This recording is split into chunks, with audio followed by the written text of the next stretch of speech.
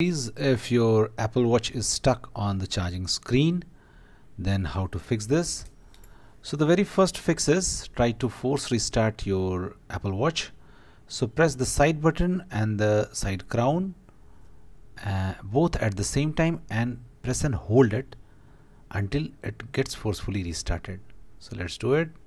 Just just press both of them. Okay. Keep it pressed and once you see the Apple iPhone logo appearing at the center of the screen you can leave those buttons okay? Just press and hold those two buttons. Once you see the Apple logo that means you have forcefully restarted your Apple Watch. And now your problem will be fixed. You will get out of your uh, charging screen mode.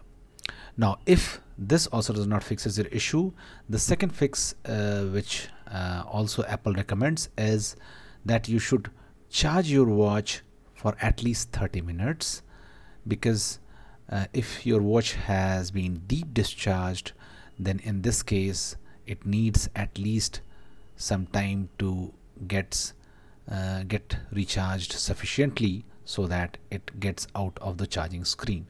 So this is also one of the method. Just just charge your Apple Watch for you know 30 minutes and then see whether issue gets resolved or not.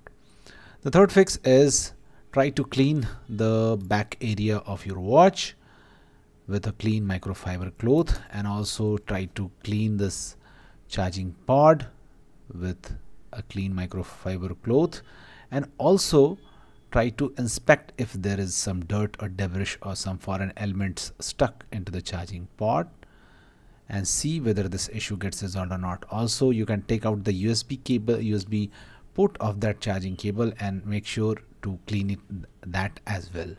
Okay? And after that you can try charging the phone again and see whether this issue gets resolved or not so that's it guys. Please do like the video to support us and thanks for watching the Geek page.